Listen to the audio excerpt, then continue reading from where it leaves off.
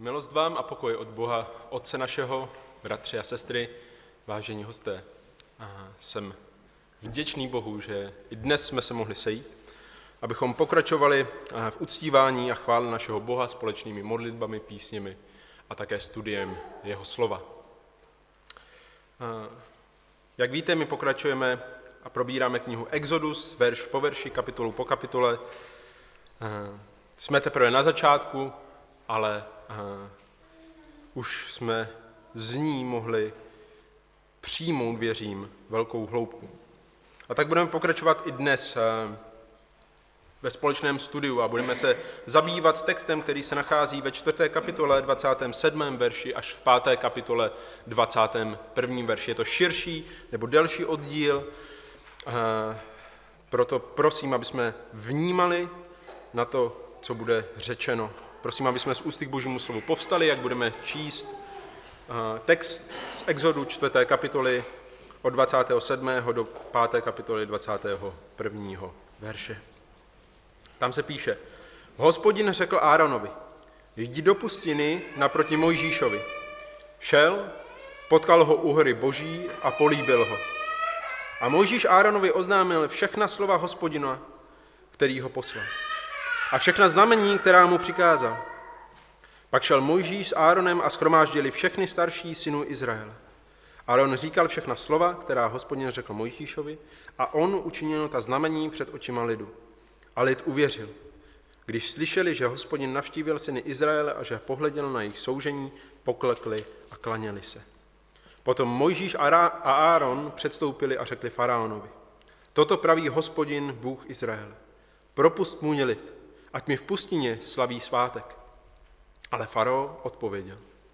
Kdo je hospodin, jenž bych měl uposlechnout a propustit Izrael? Neznám hospodina a také Izrael nepropustím. Tedy řekli, setkal se s námi Bůh Hebrejů. Dovol, ať jdeme třídenní cestou do pustiny a obětujeme hospodinu, svému bohu, aby nás nezasáhl morem nebo mečem. Ale egyptský král jim odpověděl, Mojžíši a Árone, proč odvádíte lid o jejich díla? Jděte ke svým robotám. Farao dále řekl, hele, lidu země je teď mnoho a odradili byste je od jejich robot. Toho dne faraon, farao přikázal nadřízeným v lidu a jeho správcům. Už nedávejte lidu slámu k výrobě cihel, jako dřív. Ať sami jdou a nazbírají si slámu. A uložte jim stejné množství cihel, jaké dělali dříve. Neubírejte jim, protože jsou líní, proto křičí, pojďme obětovat svému Bohu. Ať na, ať na ty muže těžce dolehne otročina, aby měli co dělat a nezajímali se o klamná slova. Poháněče lidu a jeho správci tedy vyšli a řekli lidu, toto praví farao, už vám nebude dávat slám. Už vám nebudu dávat slám. Sami si jděte nazbírat slámu, kde ji najdete, avšak z vašeho úkolu se nic neubere. Lid se rozprchl po celé egyptské zemi, aby sbíral na staništích slámu. Poháněči je nutili. Dokončete každý den své denní dílo, tak jako když sláma byla. Izraelští správci které nad nimi ustanovili faraonovi poháněči, byli byti se slovy. Proč jste včera ani dnes nedokončili své určené množství cihel, tak jako dříve? Izraelští správci tedy přišli a úpěnlivě volali k faraonovi. Proč takto nakládáš se svými otroky? Tvým otrokům nedávají slámu a říkají nám, dělejte cihly. Hle, tví otroci jsou byti, ale vinen je tvůj vlastní lid. On odpověděl, jste lenoši líní, proto říkáte, pojďme obětovat hospodinu. A teď běžte pracovat. Sláma vám dávána nebude, ale míru cihel budete dodávat. Izraelští správci viděli, že je s nimi zle, když bylo řečeno, nesmíte ubírat ze svého každodenního množství cihel. Když vycházeli od faraona, potkali Mojžíše a Árona, kteří na ně čekali. Řekli jim, ať hospodin na vás pohlédne a soudí, protože jste nás zošklivili v očích faraona i jeho otroků a dali jste do jejich ruky meč, aby nás zabili. Náš nebeský oče, my přicházíme před tvoji tvář toho dnešního rána. S touhou být poučení, s touhou být změnění tvým duchem a tvým slovem. Děkujeme ti, pane, za tu výsadu a příležitost být na tomto místě, abychom společně studovali, chválili a uctívali tvé svaté jméno. A tak prosím, aby si změnil naše srdce, aby ta slova, která uslyšíme a slyšíme ze tvého slova, produkovala činy v našich životech. Prosíme tě, pane, aby jsme neodcházeli ani nezměnění, ale aby naše životy stále více byly uctíváním tebe. Amen. Můžete se posadit, bratři a sestry.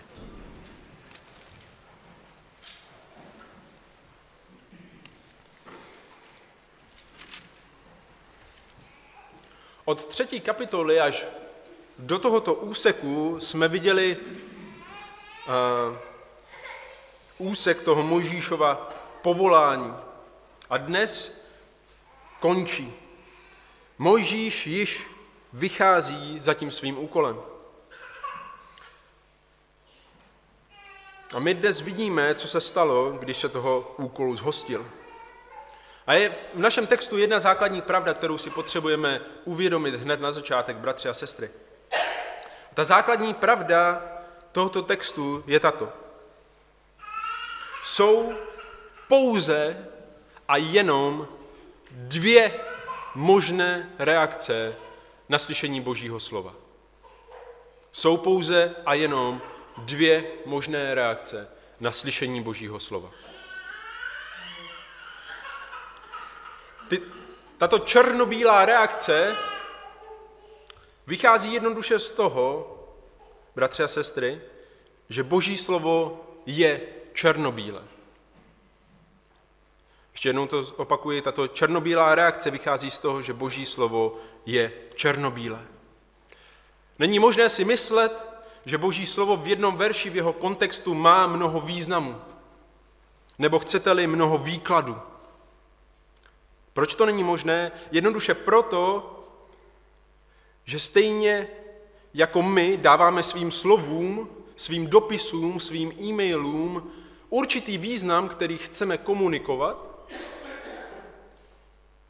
stejně tak se to děje s Božím slovem. Bůh nám nechal zapsat své slovo přesně tak, jak chtěl, abychom ho měli. Zvažte tento příklad. Máte snoubenku, která bydlí daleko. A tak jí napíšete dopis. A píšete o lásce, které, kterou k ní máte.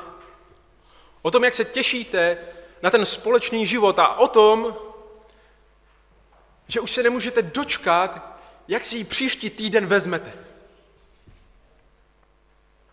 Jaká by byla vaše reakce, kdyby vám druhý den zavolala, že ruší zásnuby? Protože tak hrozný, ošklivý dopis, jako jste jí poslal, ji nikdo v životě neposlal. A když se jí zeptáte, co v tom dopisu mohlo způsobit tuto její reakci, tak by vám řekla, že si ho vyložila tak, že ji nenávidíte.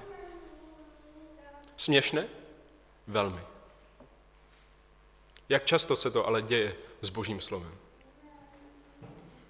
Když čteme něco černé na bílém, tak si to jednoduše vyložíme jinak.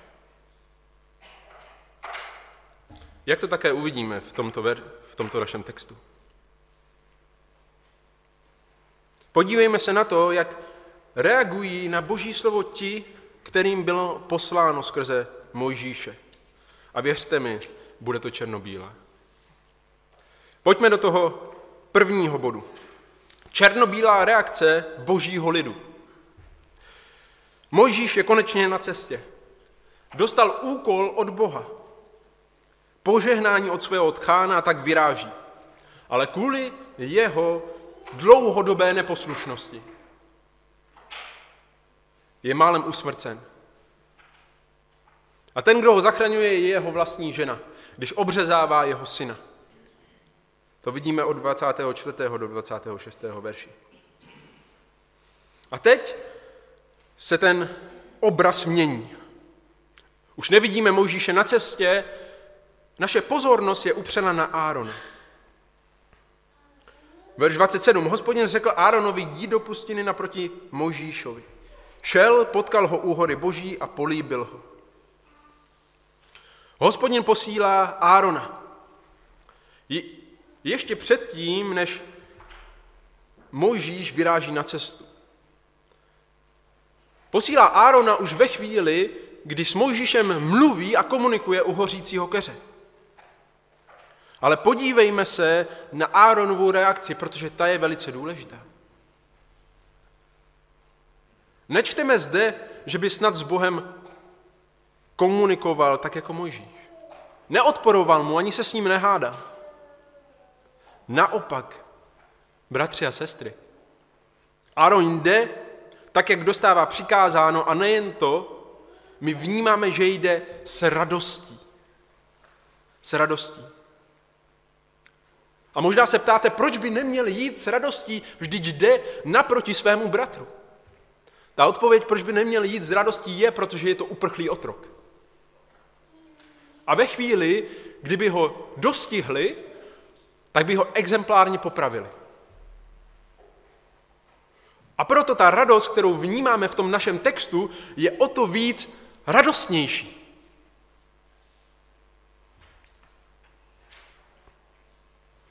Jaká byla Áronová reakce na boží slovo? Šel, potkal Mojžíše a políbil ho. A to, tyto tři slovesa ukazují na jeho vnitřní postoj, poslušnost a radost v přijímání božího slova. Poslušnost a radost. A všimněme si kontextu, ve kterém se nachází. Áron jde naproti Mojžíšovi a kde se potkávají? U Boží hory. A co se děje, když přichází a oba se setkávají u Boží hory? Verš 28. A Mojžíš Áronovi oznámil všechna slova hospodina, který ho potkal, a všechna znamení, která mu přikázal. To nám něco připomíná.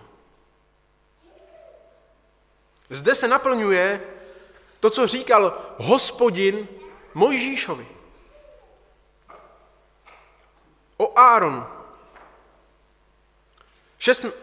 16. verš 4. kapitoly. On bude za tebe mluvit k lidu.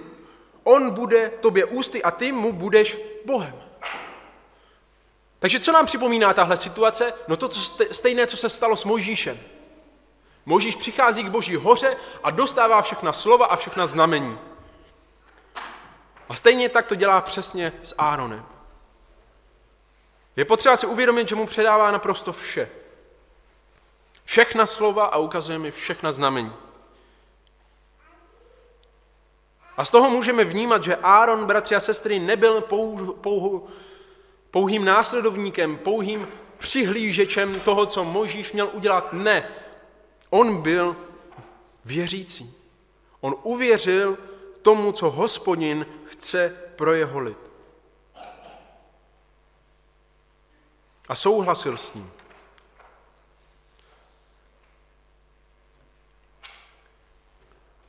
Ale zastavme se tady ještě na chvíli.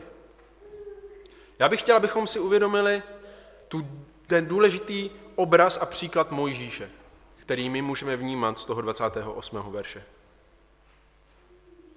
Je to jednoduché. Není to složité.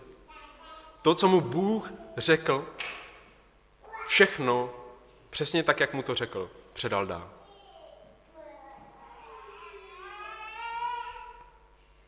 Nic si nenechal pro sebe. Verše 9, 29 až 30. Pak šel Mojžíš s Áronem a schromáždili všechny starší synu Izrael.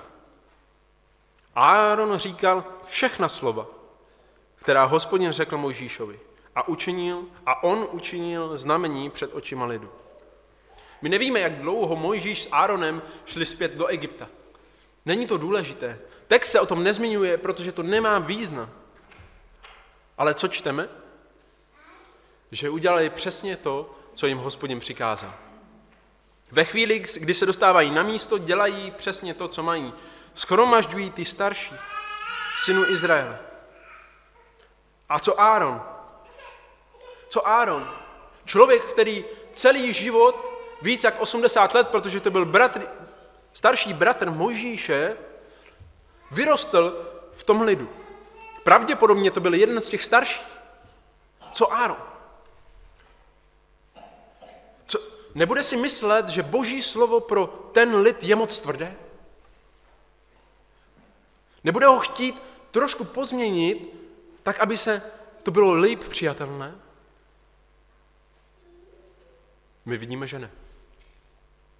Áron říkal všechna slova, která hospodin řekl Mojžíšovi. Neudělal změnu, neudělal kompromis, nedal těm slovům jiný výklad. A Mojžíš? Je vidět, že jeho obavy byly naprosto mylné. Když jsme četli ve čtvrté kapitole, jak se bál, co když mu lid neuvěří, co když ho neuposlechne, co když tamhle to a tady to. Z našeho textu vidíme, že to byl Mojžíš, který činil ty znamení, ale co tam nevidíme? Nevidíme tam, že učinil všechny ty znamení. Jinými slovy, když Aaron mluvil a on ukázal jedno nebo druhé znamení, tak lid uvěřil. Ani nemusel činit všechny. A to byla ta černobílá zpráva.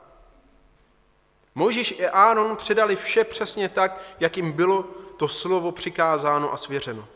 Nic k němu nepřidali, nic neubrali a dokonce ani nic nezměnili. Nezlehčili, ani nezměkčili. A jaká je reakce božího lidu? Černobíl. Začátek verše 31. A lid uvěřil. Lid uvěřil. Na první pohled, bratři a sestry, to zní velice jednoduše. Lid uvěřil. Proč by taky neuvěřil? Ale význam těchto slov v sobě obsahuje velikou hloubku. Velikou hloubku. Proč obsahuje velikou hloubku? Jednoduše proto, že existují pouze dvě reakce. Dva způsoby, jak se vypořádat se zprávou Božího slova. Bratři a sestry, to, že lid uvěřil, ukazuje tomu, že opravdu patřil hospodinu. Ukazuje, že jeho vnímání hospodina bylo správné. Jak to vidíme, stejně i pro nás, že? V 2. Korinským 2, 15 a 16. Sledujte pozorně ta slova. Protože jste, jsme Kristovou libou vůní Bohu mezi těmi, kteří jsou zachraňováni, i mezi těmi, kteří jdou do záhuby. Jedním jsme vůní smrti ke smrti, druhým života k životu. A to byl přesně Áron a Mojžíš. Oni přichází za božím lidem a říkají ta slova, která jim hospodin svěřil. A ukazují ty znamení, která jim hospodin svěřil. A stávají se vůní. A v případě božího lidu se stávají vůní života k životu. Protože existují pouze dvě vůně. Není nic mezi. Není nějaká neslaná, nemastná vůně. Buď lidé evangelium odmítnou, nebo ho přijmou. Jsou jenom dvě cesty. Jsou jenom dvě reakce. A tyhle reakce mají pouze dva, násled, dva možné následky.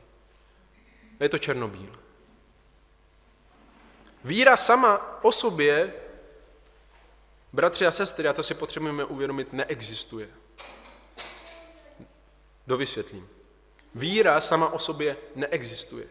Buď člověk žije podle toho, co říká, že věří, a tím ukazuje, že tomu opravdu věří, anebo žije jinak.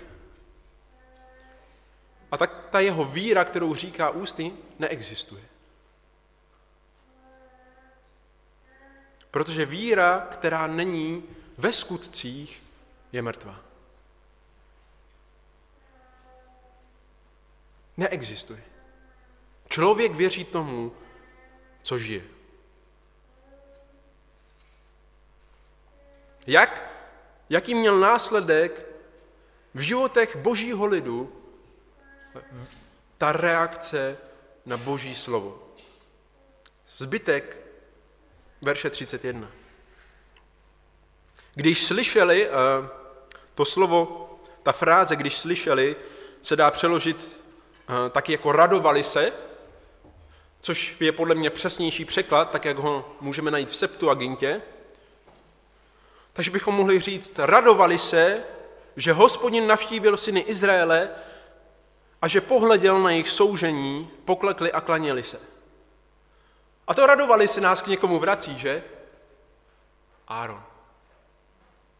Jak reagoval na slyšené boží slovo? Poslouchal a radoval se. Víra synu Izraele měla následky v jejich životě. Radovali se, poklekli a klaněli se. Jak to bylo s Áronem? Šel, potkal ho a políbil ho.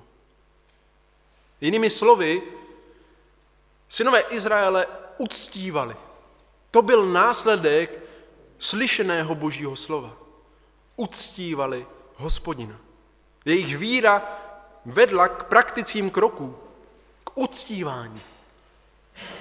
Protože uctívání je správná reakce na boží lásku k ním. A také je to ten záměr, kvůli kterým je Bůh vyvádí z Egypta, aby ho uctívali, aby ho chválili, aby ho poslouchali. Moje otázka pro vás toho dnešního rána je tato. Jsi vůní? Jsi vůní? Jsi vůní lidem, kteří jsou kolem tebe? Jsi vůní života k životu? A jsi vůní, to slovo je lépe přeloženo jako smradem. Vůní, která je hnusná ke smrti. Už jste někdy vnímali zápach zdechliny? To je to, co se tady myslí. To stejné evangelium je pro jedny vůní života. A to stejné evangelium je pro jedné, pro jedné vůní smrti.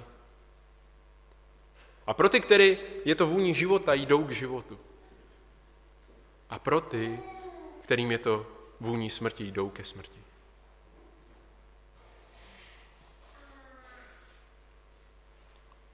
Jakou si vůní? A jak prakticky reaguješ na slyšené boží slovo? Vede tě k uctívání? Vede tě k poslušnosti? Vede tě k radosti? Je toto život, který si odnášíš ve chvíli, kdy v neděli vstaneš a odejdeš ze sboru? Žiješ a rozjímáš radostně s, s tou touhou poslouchat Boží slovo? Pak musíš být vůní. Pak musíš být vůní, jinak to nejde.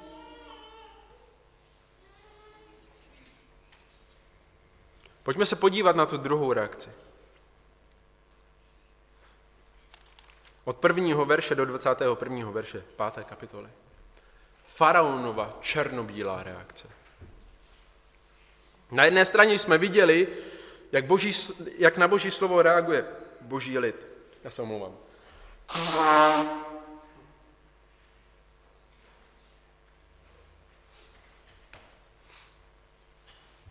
Teď se ale podívejme na tu druhou reakci. Potom Možíš a Áron předstoupili a řekli faraonovi, toto praví hospodin, Bůh Izraele. Propust můj lid, ať mi v pustině slaví svátek. Toto úvodní slovo, úvodní fráze potom, po těchto událostech, odkazuje na pokračování toho příběhu. Začíná nová sekce. Potom, co lid uctíval a uvěřil, Možíš a Áron jdou k faraonovi, tak, jak měli přikázáno. A co říkají? Ty stejná slova. Ty stejné fráze. Toto praví hospodin. A když slyšíme toto praví hospodin, tak se zastavíme v mysli. Proč se zastavíme? Jako by nám to sem nepatřilo. Kde slyšíme normálně frázi toto praví hospodin? Aha. U proroku. Když proroci jdou a konfrontují krále. Stejně jako tady. Ale tato fráze se normálně v Pentateuchu neobjevuje. Asi jenom čtyřikrát. Aby zdůraznila ty slova.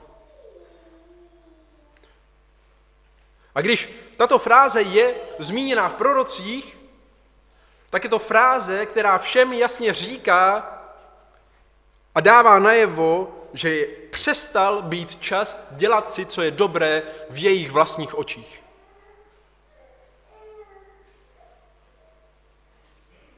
Toto praví hospodin, Bůh Izrael. Propust koho? Můj lid. A proč? Aby mě pustině uctíval.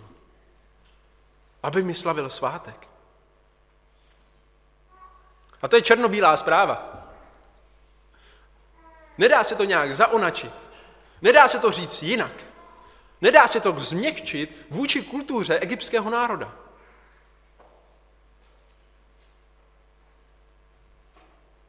Je to to stejné slovo. Jaká bude ale faraonová reakce? Asi černobílá. Ale farao odpověděl, kdo je hospodin? Jejž bych měl uposlechnout a propustit Izrael. Neznám hospodina a také Izrael nepropustím. Jaký dá reakce, když ji porovnáme s tou reakcí božího lidu? Hněv. Kdo je hospodin? Toto slovo neznamená tom kontextu toho rozhovoru, že by snad faraon nikdy o hospodinu neslyšel. Mm-mm. Tohle slovo znamená, že faraon neuznává hospodinovou autoritu. Kdo je hospodin vůči mně? Chcete-li to lépe nazvat? Kdo je hospodin, že já bych ho měl poslouchat? Co pak má nějakou autoritu nade mnou? Proč bych ho měl uposlechnout? Vždyť ho nezná.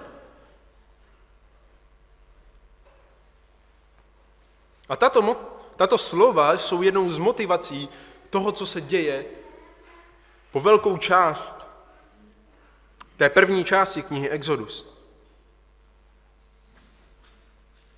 Jejíž cílem je ukázat na to, kým je hospodin. Ne v tom smyslu, aby, hosp, aby faraon poznal hospodina, aby o něm někdy slyšel aspoň, ale v tom smyslu, o kterém tady právě říká tu otázku. Aby poznal, že on je ten svrchovaný Bůh. Víte, ten boj, který bude probíhat, totiž není mezi Mojžíšem a faraonem.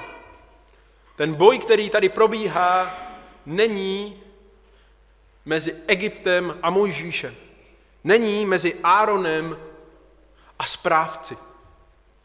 Ten boj, který tady vidíme, je mezi hospodinem a falešnými bohy, kterých byl faraon obrazen. Dokonce synem. Boj, který tady vidíme, je boj hospodina a falešných model. A nejen, to, nejen v té době, bratři a sestry, ale taky v každém jednom z našich životů. A ta otázka, ústřední otázka je, komu budeš sloužit.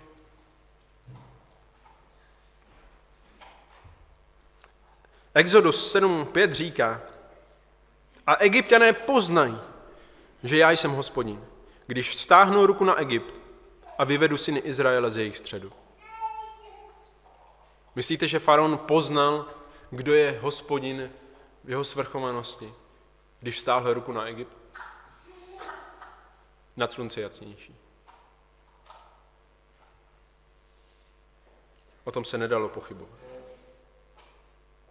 A tak moje další otázka pro tebe je, znáš hospodina? Ne, jestli jsi o něm někdy slyšel.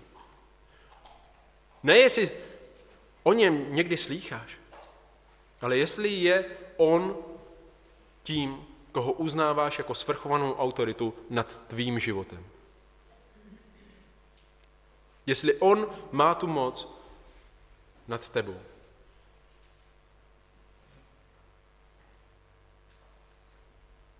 A nebo to bude až ve chvíli, kdy se jednoho dne postavíš na soudu a on vstáhne ruku a oddělí svůj lid od zbytku. Jestli až tehdy poznáš, kdo je hospodin. Já tě chci vybídnout toho dnešního rána. Nečekej. Nečekej.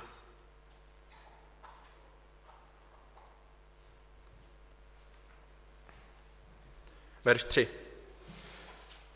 Tedy řekli, setkal se s námi Bůh Hebrejů. Dovol, ať jdeme třídenní cestou do pustiny a obětujeme hospodinu svému Bohu, aby nás nezasáhl mere, morem nebo mečem. Možíš to zkouší jinak. Ty neznáš hospodina, nevadí, já ti o něm povím. Já ti to řeknu jinak. Rád ti řeknu o hospodinu, třeba ho poznáš. Setká se s námi Bůh Hebrejů, setká se s námi hospodin a tak prosím, dovol, ať jdeme třídenní cestou, abychom ho obětovali.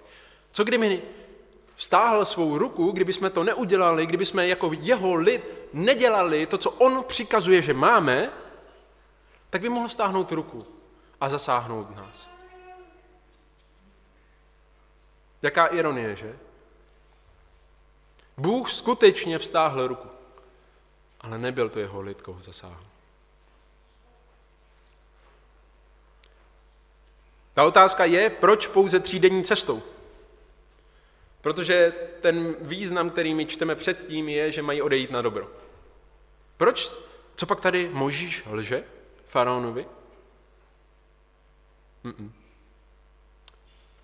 Ta fráze v kontextu, v originálu, v hebrejštině znamená to, že je to nepřímé vyhlášení, že budou odcházet na dobro, protože třídenní cesta je tak daleká od hranic Egypta, že je jasné, že už se nebudou vracet.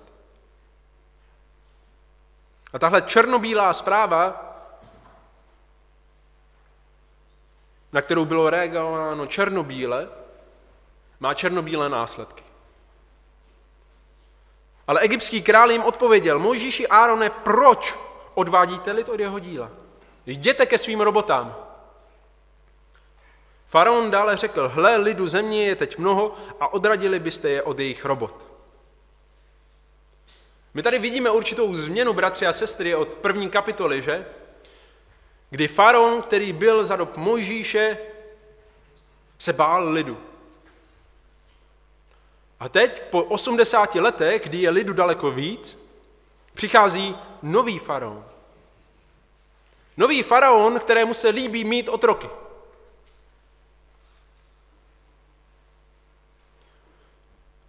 Líbí se mu to, že mu někdo slouží. Líbí se mu to, když si může podrobit někoho jiného. Odvádíte lid od jejich díla. Proč? Víte, uctívání bylo velice běžné v Egyptě, to si nesmíme myslet, že ne. Celodenní festivaly a několika denní festivaly různých božstev v tom egyptském panteonu byly na denním pořádku. Ramses II. zmiňuje ve svých svitcích dokonce 46 takových, takovýchto několika denních festivalů za rok.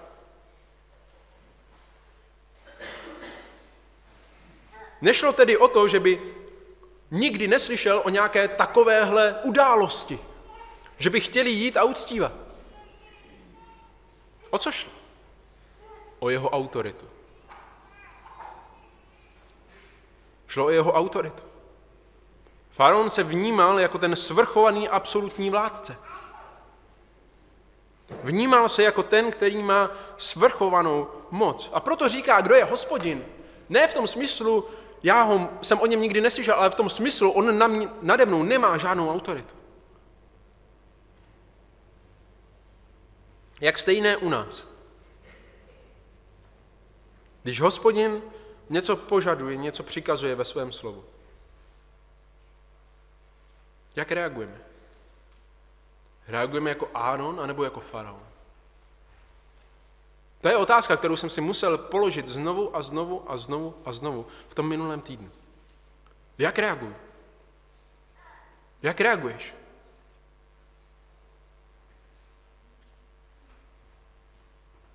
My vidíme, že Áron reagoval s radostí a faraon ve zlobě.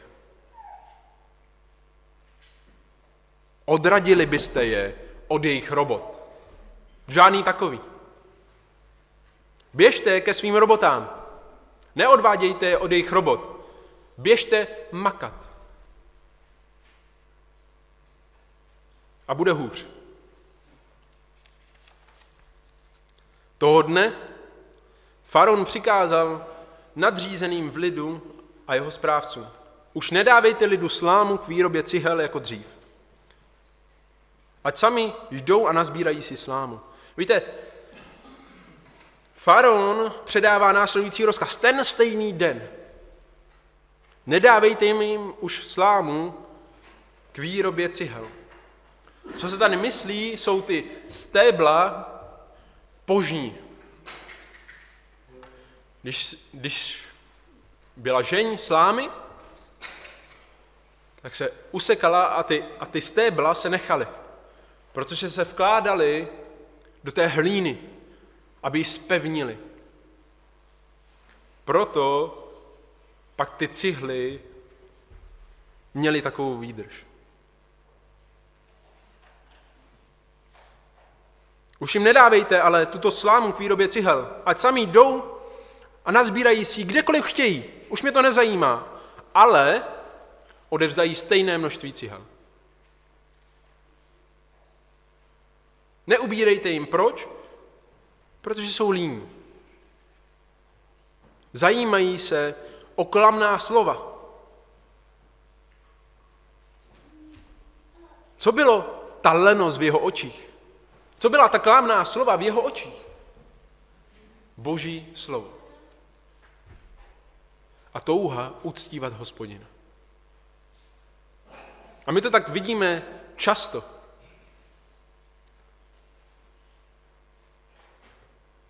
Víte, faraon, bratři a sestry, je tu předobraz a příklad. A my už jsme si to říkali, že? Jak je znázorněn Egypt v božím slově? Jako dům otroctví. Jako dům otroctví. A faraon je znázorněn jako modla. A my to vidíme. Slovo pracovat je totiž odvozeno od stejného kořené jako slovo uctívat. A tak zatímco hospodin říká, propust můj lid, ať mě jdou uctívat, tak faraon říká, ne, vy budete víc pracovat. A tak to, co říká, je, ne hospodin má autoritu nad vašimi životy, aby on říkal, co máte dělat. Já modla vám budu říkat, co máte dělat. Já váš otrokář. A to je hřích v našich životech.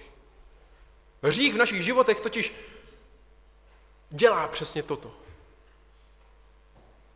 Zatímco Boží slovo nám říká, reaguj s radostí a poslušností a ji uctívat, tak hřích říká, e, e budeš poslouchat mě.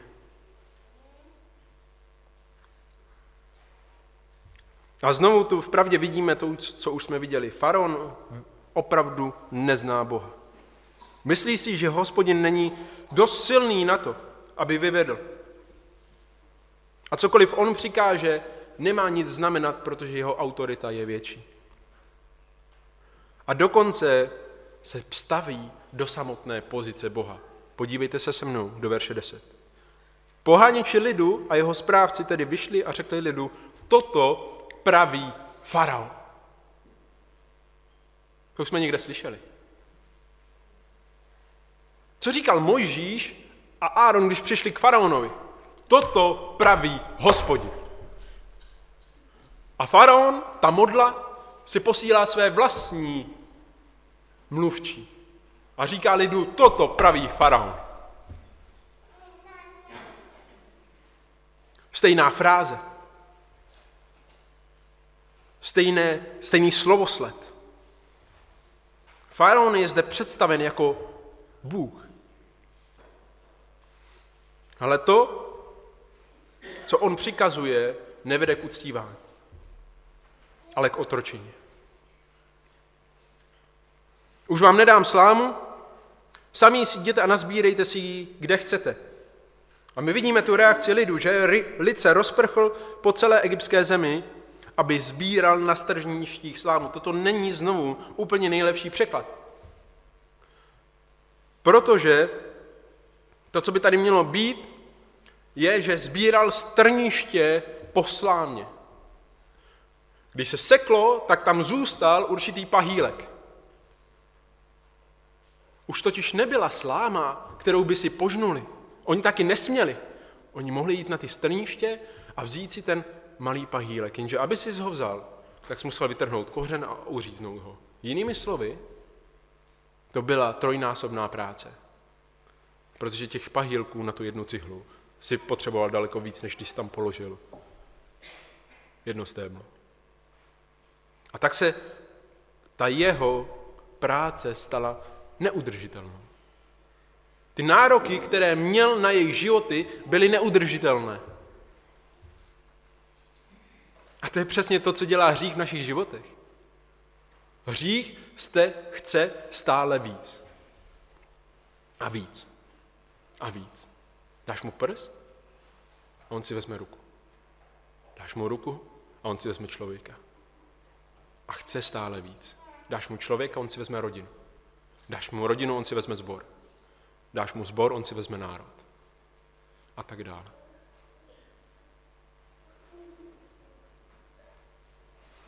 A tak boží lid, stejně jako i my dnes, je postaven před tu otázku. Koho budeš uctívat? Ta situace se opakuje skrze celou historii znovu a znovu a znovu a znovu. Když začneme být věrní Božímu slovu, jsou pouze dvě reakce. Za prvé, lidé budou reagovat pozitivně, pokud jsou určení k životu. A za druhé, ti, kdy on budou reagovat obráceně, tak budou reagovat ve hněvu a začnou pronásledovat a nenávidět. A tak tady máme další obraz toho, co si můžeme, věřím, jako boží lid vzít z tohoto textu. Situace pro boží lid ve chvíli, kdy následuje boží slovo, nikdy, nikdy, nikdy nebude lehká. Víte, já jsem slyšel už několikrát, jak jsou lidé zaskočeni odmítnutím, nevolí, dokonce i zlobou lidí, kteří chcou zvěstovat evangelium. A já se ptám, proč? Co si čekali jiného? Co si čekali jiného, pokud kážeš čisté boží slovo? Pokud ho nějakým způsobem nezměkčíš, co si čekali jiného, když přijdeš k člověku a řekneš mu, jsi hříšník.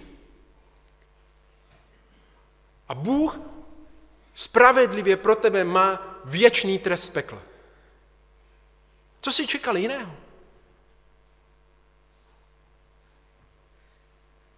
Možná si říkáte, proč provokovat? Co pak nejdou říct ty slova tak, aby to nikomu nevadilo? A odpověď na to je nejde. Nejde. Nejde to říct tak, protože ta zpráva je černobílá. A pokud nechceme dělat kompromis, tak to jinak nejde. A proto, jak jsme četli v Korinským, je tam jasně napsáno, my jsme vůní Bohu. A ta vůně Bohu znamená oběť. To je vůně oběti. My jsme vůní Bohu, která je Bohu příjemná, jako ta příjemná oběť. Ale ta vůně, která je Bohu příjemná, protože to je oběť, tak je příjemná i těm, kteří jsou určeni k životu, protože to je vůně k životu. Proč? Protože oběť ve starém zákoně znázorňovala odpuštění hříchu.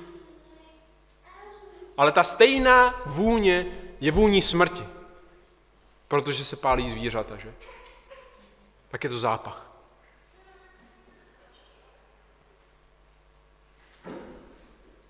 Ale to není konec. Bude to horší. Izraelští správci tedy přišli a upěnlivě volali k faraonovi. Proč? Tak to nakládáš se svými otroky. Tvým otrokům nedávají slámu a říkají, dělejte cihly. Hle, tví otroci jsou byti, ale vinen je tvůj vlastní lid. On odpověděl, jste lenoší líní. Proto říkáte, pojďme obětovat hospodinu. A teď běžte pracovat. Sláma vám nebude dávána, dávána nebude, ale míru cihel budete dodávat. Izraelští správci viděli, že je s nimi zle, když bylo řečeno, nesmíme ubírat ze svého každodenního množství cihel.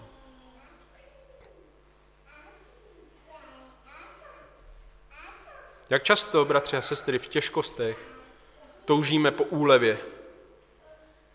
Aspoň trošičku úlevy.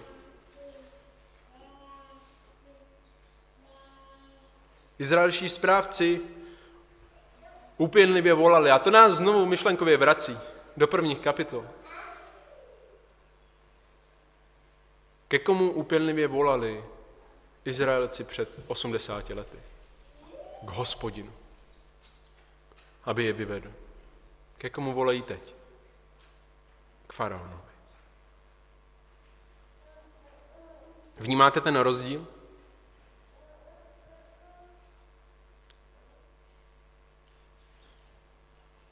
A znovu je tady otázka té autority. A znovu je tady otázka toho uctívání. Z téhle noši líní. Proto říkáte, pojďme obětovat hospodinu. Běžte pracovat.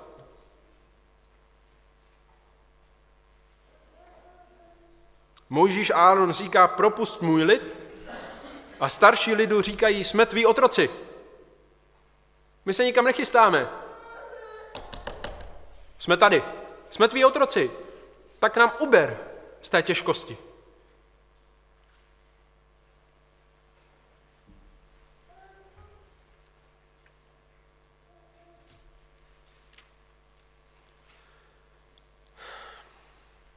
Znovu tady vidíme to použití těch slov práce a uctívání v, kontext, v kontrastu.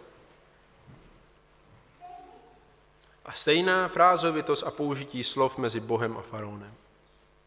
A tak ta otázka je, komu bude Izrael sloužit. Stejně jako je to otázka i pro nás.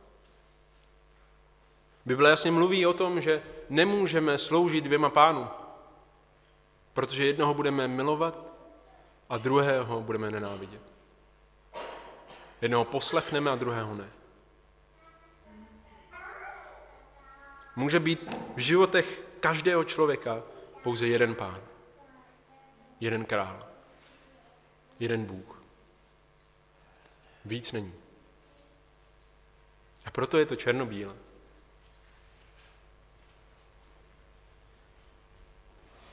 Možíš a Áron tam nebyli se staršími lidmi, ale čekali na ně venku. Čekali, až výjdou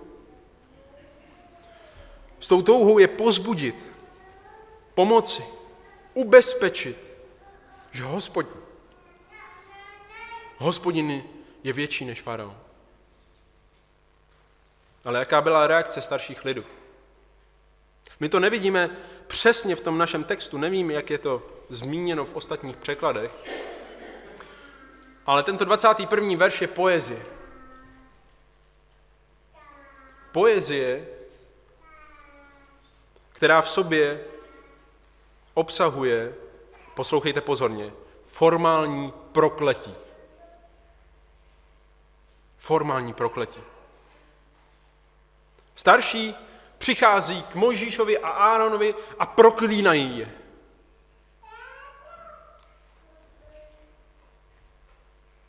Ať hospodin pohledí a soudí na vás. Rozsoudí vaše skutky.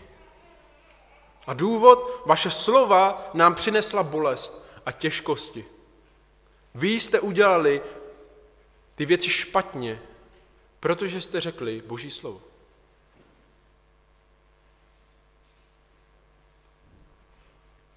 A tak tady vnímáme, bratři a sestry, ten další krok, že? Těžkosti od těch, kdo jdou ke smrti. Ty čekáme. Ty jsou jasné. Nad těmi se nemůžeme divit. Ale co zevnitř božího lidu?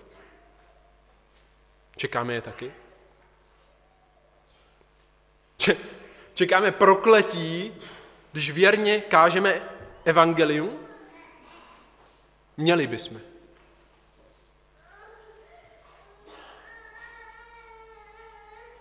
Proč? Protože slova evangelia rozsuzují touhy a myšlenky srdce. A ty modly si to nenechají líbit.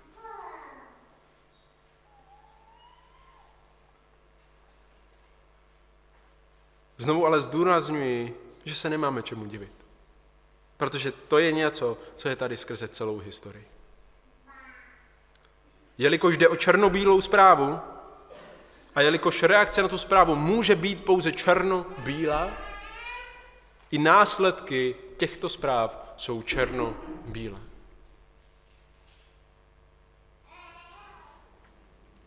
Jakousi vůni.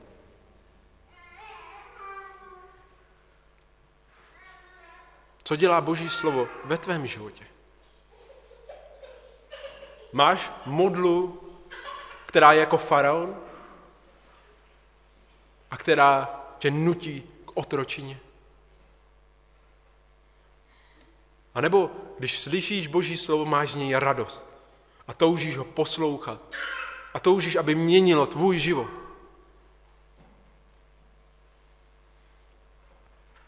Jak na něj reaguješ? Reaguješ jako Izrael, když mu hospodin poslal Mojžíše a Aaron, anebo reaguješ jako starší, když odcházeli od faraona? Víte, stejně jako Mojžíš a Áron, i my jsme pouze správci. Pokud uděláme kompromis, pokud změkčíme, pokud uvolníme, tak sami sebe diskvalifikujeme. Protože kdo by chtěl správce, který krade jenom trošku? Kdo by chtěl správce, který se nestará o ten majetek, který mu byl svěřen, jenom trošku, protože zrovna má něco lepšího?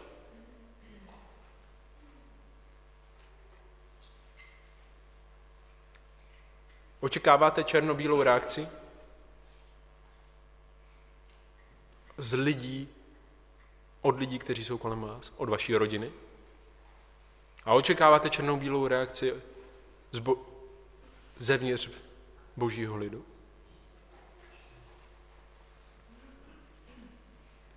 Ale ještě důležitější otázka. Pro tebe toho dnešního dne. Znamená to snad, že bys měl přestat kázat čisté boží slovo? Ani náhodou. Proč? Protože hospodin je Bůh. Hospodin je Bůh. A tak když budeme odcházet toho dnešního dne, moje touha a modlitba za každého jednoho z nás je, aby jsme byli tou obětí, která se líbí Bohu. Aby naše vůně byla libá Bohu. Aby jsme se radovali a poslouchali Boží slovo. Aby měnilo naše životy každý den. Aby jsme se nad ním zamýšleli. Aby to nebylo tak, že v neděli přijdeme, odložíme Bibli a nevezmeme ji do čtvrtka. Aby to nebylo tak, že v neděli usedneme k modlitbám a nemodlíme se do čtvrtka. Aby to nebylo tak, že náš život odpovídá tomu, jako bychom žili ještě v otroctví.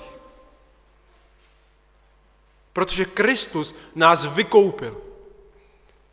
Ne zlatem ani stříbrem, bratře a sestro, ale svou drahou krví.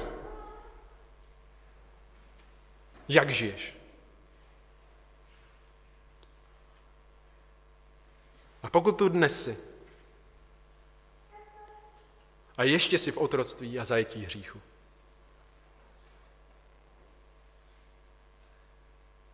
mám pro tebe špatnou a dobrou zprávu. Pokud zůstaneš v té situaci tak, kde jsi teď, tak na tebe čeká jen boží soud. Boží hněv na celou věčnost.